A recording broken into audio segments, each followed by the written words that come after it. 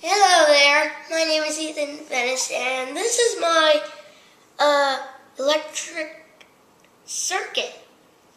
And the way it works is you gotta put the uh, wire right there in this battery, and you put the light bulbs right here.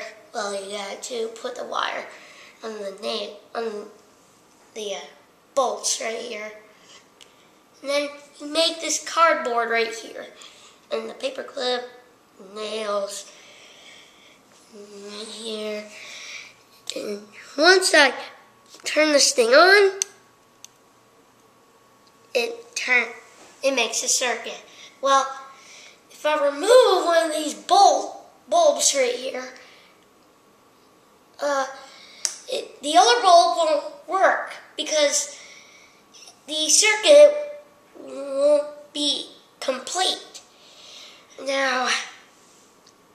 uh,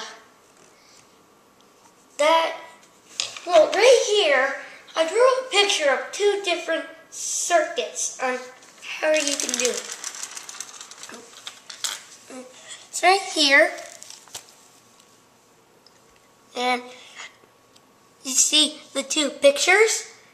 Uh, those are two different ways you can make a circuit. There's a series circuit and a parallel circuit. And, mm -hmm, yep.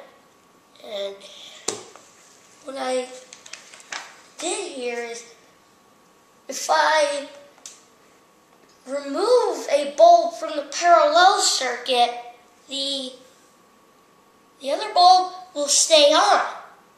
You see? That's another trick. That's another trick you can do.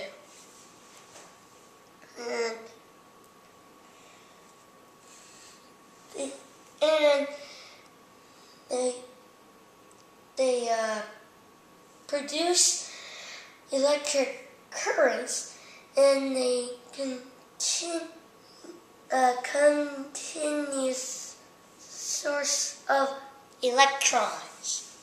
Mm -hmm. That's it for today, folks. Uh, I hope you enjoyed this science project, and I'll see you later.